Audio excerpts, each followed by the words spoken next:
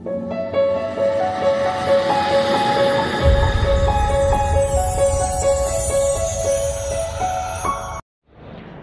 அட்டம் YouTube channel மூலமாக இணைந்திருக்கக்கூடிய மாணவர்களுக்கு வணக்கம். இன்றைய தினம் நாங்கள் பார்க்க இருக்கிற விடயம் வந்து ஒரு சீர்திடநிலை ஒரு சீர்திடநிலைண்டா என்னென்னு கேட்டால் புறச்சூழலில் மாற்றங்கள் ஏற்பட்டாலும் கூட அகச்சூழலை வந்து மாறாது வைத்திருக்கின்ற ஒரு சூழ்நிலை தான் ஒரு சீர்திடநிலைன்னு சொல்லுவோம். அகச்சூழல் என்றா என்னண்டா? இந்த உடற்கலங்கள் வாழ்வதற்கான ஊடகத்தை வழங்குறதும் அந்த கலங்களுக்கு அருகில் இருக்கக்கூடியதுமான சூழலை தான் அகச்சூழல்னு சொல்லுவோம். உதாரணமாக கலங்களை சூழ வர இருக்கக்கூடிய எளிய பாய் அதை மாதிரி இந்த குருதி கலங்கள் குருதி கலங்களை சுற்றி வர இருக்கக்கூடிய குருதி திரவ எளியம் இதுகள் எல்லாமே அகச்சூழலாக இருக்கும் அகச்சூழலில் வந்து மாறாது வைத்திருக்கப்பட வேண்டிய காரணிகள் என்று சொல்லிக்க மூன்று காரணிகள் இருக்குது ஒன்று வந்து எங்களுடைய இந்த வெப்பநிலை அடுத்தது வந்து குளுக்கோஸின் மட்டம் அடுத்தது நீரிண்ட சமநிலை. இந்த மூன்றும் வந்து அகச்சூழலில் மாறாது வைத்திருக்க வேண்டிய காரணிகளாக இருக்கும். அதில் முதலாவது நாங்கள் பார்க்க போகிற விடயம் வந்து குளுக்கோஸ்.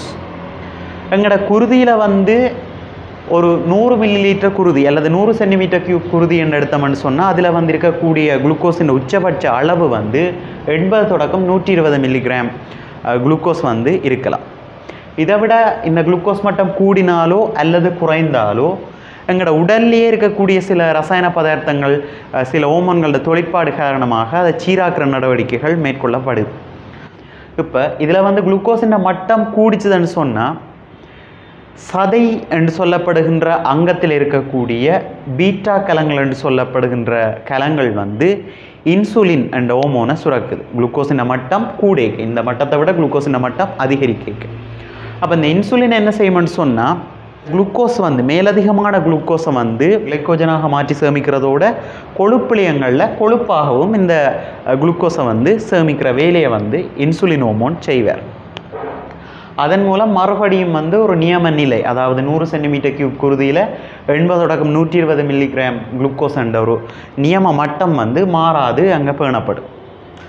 அதை மாதிரி இந்த குளுக்கோஸின் மட்டம் குறைஞ்சதுண்டா? இந்த அளவை விட இந்த நியம வட அளவை விட குளுக்கோஸின் மட்டம் குறைஞ்சதுன்னு சொன்னால் சதையில் இருக்கக்கூடிய ஆல்ஃபா கலங்கள் இந்த ஆல்ஃபா கலங்கள் என்ன செய்யும்னு சொன்னால் குளுக்கஹோன் என்று சொல்லப்படுகின்ற ஓமோனை சுரக் இந்த குளுக்கஹோன் ஓமோன் அதாவது குருதியில் குளுக்கோஸ் மட்டம் எப்போ குறையும்? நாங்கள் உணவருந்தாமல் இருக்கிற நேரங்களில் வந்து ஏற்கனவே பயன்படுத்த ஏற்கனவே எங்களோட உடலில் சேமிக்கப்பட்டிருக்கிற சக்தி பயன்படும் என்று சொல்லுவோம்.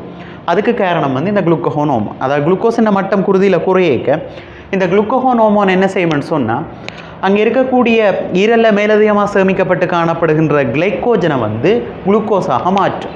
இந்த குளுக்கோஹோன் ஹோமோன் ஈரல்ல சேமிக்கப்பட்டிருக்கிற கிளைக்கோஜனை குளுக்கோஸாக மாற்றும்.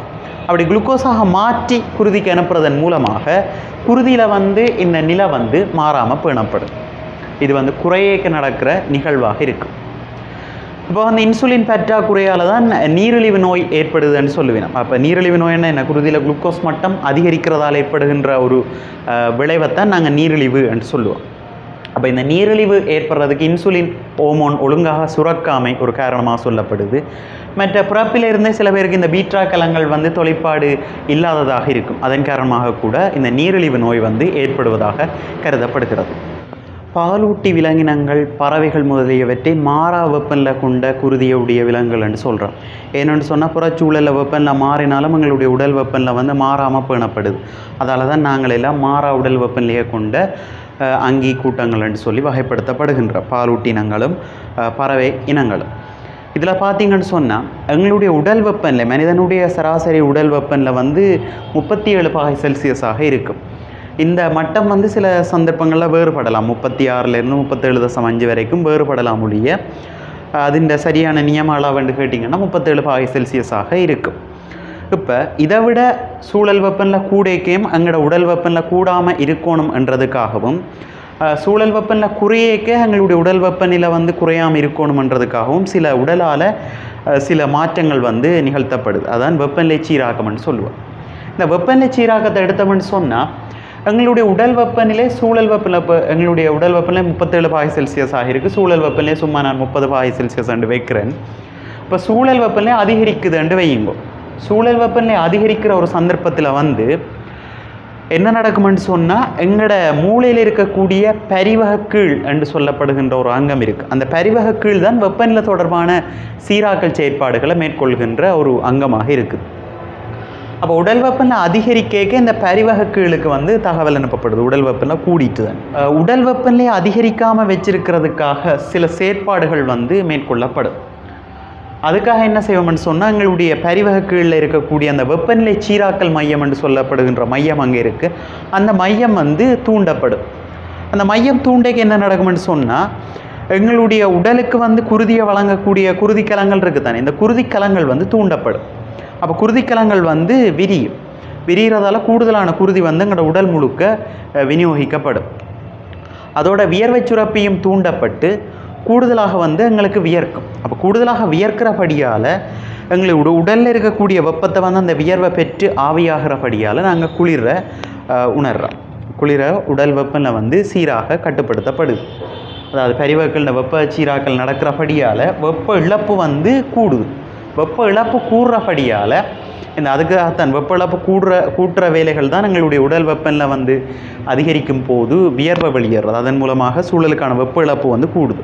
அது மாதிரி குருதிக்கலங்கள் மூலமாக குருதி அதிக அளவு விநியோகிக்கப்படைக்கும் சூழலுக்கான வெப்ப இழப்பு வந்து கதிர்ப்பு மூலம் சூழலுக்கான வெப்ப இழப்பு வந்து அந்த சந்தர்ப்பங்களில் வந்து கூடவாக இருக்குது அப்போ வெப்ப இழப்பு வந்து கூடுதற கூடுகின்ற காரணத்தால் உடல் வெப்பநிலை வந்து கூடாமல் வெப்பத்தை உடல் வந்து இழக்கிறபடியே உடல் வெப்பநிலை வந்து எங்களுடைய அந்த நியம நிலையிலேயே பேணப்படுறதுக்கு இந்த செயற்பாடுகள் வந்து உதவுது. அதை மாதிரி மற்ற வளம் இப்போ மனித உடல் இந்த சூழல் வெப்பநிலை வந்து குறைகிற சந்தர்ப்பத்தை எடுப்போம். சூழல் வெப்பநிலை குறையேக்க என்ன நடக்கும்னு சொன்னால் சூழல் வெப்பநிலை குறையேக்க அதே மாதிரி தான் மூளையில் இருக்கக்கூடிய பரிவக கீழில் இருக்கக்கூடிய வெப்பச்சீராக்கல் மையத்துக்கு தகவல் வழங்கப்படுது. இப்படி சூழல் வெப்பநிலை குறையுது உடல் வெப்பநிலை குறைக்காமல் இருக்கிறதுக்கான வேலைகளை செய்யணுமென்ட்டு. அப்போ இந்த பரிவக தூண்டப்பட்ட என்ன நடக்கும்னு சொன்னால் தோலுக்கான குருதி விநியோகத்தை வந்து இந்த பரிவக வந்து கட்டுப்படுத்துது. அது குருதிக்கலங்கள் வந்து சுருங்குது. அதால் குருதி விநியோகம் விநியோகம் வந்து குறைக்கப்படுது. மற்ற வியர்வை சுரப்பிகளின் வியர்வை சுரப்பிகள் தூண்டுறது குறைக்கப்பட்டு வியர்வை மூலம் வியர்வை வெளியேறுகின்ற செயற்பாடும் வந்து குறைக்கப்படுது.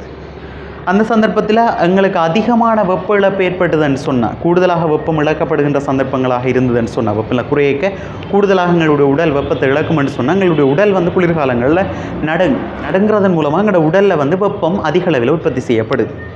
மற்ற குளிர் நேரங்களில் பார்த்தீங்கன்னு சொன்னால் இந்த மயிர்கள் வந்து கூச்சறிகிற சந்தர்ப்பங்கள் இருக்கும். அதாவது வந்து இந்த உரோமங்கள் வந்து நிமிர்ந்த அந்த நிலையிலே இருக்கும். அப்போ என்ன நடக்குதுன்னு சொன்னால் உள்ள அந்த வழிப்படை வந்து அந்த நிமிர்ந்த நிலையில் இருக்கக்கூடிய உரோமங்களுக்கு இடையில் அந்த வழிப்படை வந்து இருக்குது இப்போ வழிப்படை வந்து ஒரு காவலி பதார்த்தம்ன்றதால எங்களோட உடலில் இருக்கக்கூடிய வெப்பம் வந்து இழக்கப்படுறத அந்த வழிப்படை வந்து தடுக்கும். அதன் காரணமாகவும் எங்களுடைய வெப்பநிலை வந்து இழக்கப்படாமல் எங்களுடைய உடலானது வெப்பநிலை சீராக்கத்தை பேணக்கூடியதாக இருக்குது அதை மாதிரி உடல் வெப்பநிலை கூடுகின்ற சந்தர்ப்பங்களில் வந்து மயிறு வந்து சாய்வாக இருக்கும். அதாவது வழிப்படை எல்லாம் வெளியேறி உடல் வெப்ப இழப்பை வந்து அதிகரிக்கணுமன்றதுக்காக அந்த சந்தர்ப்பத்தில் அப்படியான செயற்பாடுகள் அங்கே நடக்கும். இதன் மூலமாக உடல் வெப்பநிலை வந்து மறுபடியும் நியமமான நிலையில் வந்து பேணப்படுகின்ற செயற்பாடுகள் அங்கே நடக்கக்கூடியதாக இருக்கும். வெப்பநிலை சீராக்கத்தை செய்கின்ற பகுதியாக இந்த பரிவக இருக்கக்கூடிய வெப்பச்சீராக்கல் மையம் தொழிற்படுது. அடுத்ததாக நாங்கள் பார்க்கிருக்கிற விடயம் குருதியில் நீர்மட்டத்தின் சமநிலை அதாவது குருதியில் நீர் சமநிலை. இப்போ குருதியில் வந்து நீரின் அளவு வந்து குறையேக்க என்ன நடக்கும்னு சொன்னால் எங்களுடைய கபச்சுரப்பி இருக்குது தானே இந்த கபச்சுரப்பி தூண்டப்பட்டு கபச்சுரப்பியால் ஏடிஎச் என்ற ஓமோன்ற சுரப்பு வந்து தூண்டப்படுது. இந்த ஏடிஎச் ஓமோன் என்ன செய்யணும்னு சொன்னால் சிறுநீரகத்தில் தொழிற்பட்டு இந்த சிறுநீரகங்கள் மூலமாக நீரினுடைய அகத்துறிஞ்சலை வந்து கூட்டும். அப்போ சிறுநீரகத்தால் நீர் வந்து திருப்ப அகத்துறிஞ்சப்படுகின்ற அளவு வந்து கூடேக்க சிறுநீர் மூலமாக வெளியேற்றப்படுகின்ற நீரின் அளவு வந்து குறையும். அதன் காரணமாக குருதியில் நீர்மட்டம் வந்து பழையபடி அதிகரித்து குருதியில் நீர்மட்டத்தின் அளவு வந்து நியம நிலையில் இருக்கிறதுக்கு இந்த செயற்பாடுகள் காரணமாக இருக்குது அதே மாதிரி இப்போ குருதியில் நீரிண்ட அளவு வந்து அதிகரிக்குதுன்னு வைங்கோ குருதியில் நீரிண்ட அளவு அதிகரிக்க என்ன நடக்கும்னு சொன்னால் கவச்சுரப்பி தூண்டப்பட்டு ஏடிஎச்சின் சுரப்பு வந்து குறைக்கப்படுது. இங்கே கூட்டப்படுது இங்கே வந்து ஏடிஎச்சின் சுரப்பு வந்து குறைக்கப்படுது. அப்போ என்ன நடக்கும்னு சொன்னால் திருப்ப சிறுநீரகங்கள் மூலமாக நீரை மீளாக துறிஞ்சுகின்ற செயற்பாடும் வந்து குறை. அப்படி சிறுநீரகங்கள் மூலமாக நீராக துறிஞ்சுகின்ற செயற்பாடு குறையேக்க சிறுநீர் மூலமாக வெளியேற்றப்படுகின்ற நீரின் அளவு வந்து அதிகரிக்கும். அப்போ சிறுநீர் மூலமாக வெளியேற்றப்படுகின்ற நீரின் அளவு அதிகரிக்கிறதன் காரணத்தால் சிறுநீராக வெளியேற்றப்படுகின்ற நீரின் அளவு கூடும் அதன் காரணமாக குருதியில் இருக்கக்கூடிய நீரின் அளவு வந்து குறைஞ்சு நியம மட்டத்தில் பேணப்படுது. இது வந்து குருதியில் இருக்கக்கூடிய நீர் சமநிலையை பேணுகின்ற செயற்பாடுகளாக இருக்கும் இப்போ நாங்கள் முது மூன்று சீராக்கங்களுக்குமே வெப்பல சீராக்கம் பார்த்தோம் குளுக்கோஸ் சீராக்கம் பார்த்தோம் அது மாதிரி நீர் பற்றி பார்த்தோம். மூணுக்குமே வரைபடங்கள் அமைச்சிருப்போம். நோட்ஸாக படித்து ஞாபகத்தில் வச்சுருக்கிறதுலும் பார்க்க. இந்த வரைபடத்தை நீங்கள் நோட் புக்கில் ஒன்றில் நோட் பண்ணி வச்சுருந்தீங்கன்னு சொன்னால் எக்ஸாமுக்கு முதல் அதை பார்த்துட்டு போக உங்களுக்கு இலகுவில் ஞாபகத்தில் இருக்குது சின்ன சின்ன குறியீடுகள் மூலமாக முக்கியமான விடயங்களை நோட் பண்ணி வச்சா நீங்கள் படிக்கிறதுக்கு இலகுவாக இருக்கும் அண்டு நான் நம்புகிறேன் இது போலவே இல்லாம் இது மாதிரி வரக்கூடிய உயிரியல் பகுதியில் இருக்கக்கூடிய பல விடயங்களை வந்து நோட்ஸ் பாடமாக்குறதிலும் பார்க்க இப்படி ஒரு அட்டவணை மூலம் அதை சுலபமாக நாங்கள் குறித்து காட்டலாம். அப்படி குறித்து காட்டினா அதன் மூலமாக நாங்கள் எங்களுக்கு நிலவில் வச்சுருக்கக்கூடிய விடயங்களை வந்து அதிகரிக்கலாம். சில பேர் வந்து ஃபிசிக்ஸ் கெமிஸ்ட்ரி வடிவ செய்வோம். பயாலஜி வந்து பாடமாக்குற பாடம்ன்றபடியால் அதை வந்து ஞாபகத்தில் வச்சுருக்கிறதுக்கு கஷ்டப்படுவோம். சில பேர் பாடமாகி ஞாபகத்தில் வச்சிருப்பினோம் சில பேர் வந்து அதை வந்து கொஞ்சம் கஷ்டப்படணும் அப்படியான ஆட்களுக்கு இந்த முறை வந்து இலகுவாக இருக்கும். அதாவது வரைபடங்கள் ரீதியில் பார்க்க அதை வந்து ஈஸியில் எங்களால் ஞாபகப்படுத்தக்கூடிய மாதிரி இருக்கும் அதே மாதிரி விலங்கு பல்வமை என்று படிச்சீங்கன்னு சொன்னால் பாத்திர போடா என்று வருதுன்னு சொன்னால் சில பேர்கள் வந்து உங்களுக்கு இப்போ தெளிவில்லாமல் இருக்கும். அப்போ அதுகளுக்கு வந்து ஒரு விலங்கை மாத்திரம் ஞாபகத்தில் வச்சிருக்கிறத முயற்சி செய்வோம் அந்த விலங்கின் இயல்புகளை எடுத்து அந்த விலங்கை எடுத்து அதன் இயல்புகளை பார்க்குறதன் மூலமாக அந்த ஒட்டுமொத்த அங்கியின் இயல்புகளையே ஞாபகத்தில் வச்சிருக்கலாம். இன்றைக்கு மூன்று சீராகங்கள் பற்றி பார்த்து நாங்கள் விளங்கி இருக்குமென்னு நினைக்கிறேன். தொடர்ச்சியாக இப்படிப்பட்ட காணொளிகளை பெற்றுக்கொள்கிறதுக்கு நீங்கள் இந்த சயின்ஸ் அட்டம் யூடியூப் சேனலில் சப்ஸ்கிரைப் பண்ணுங்க. இதை மாதிரி என்ன பாடம் உங்களுக்கு செய்யணும்? நான் சொன்ன விடயங்கள் உங்களுக்கு விளங்கிச்சுதா?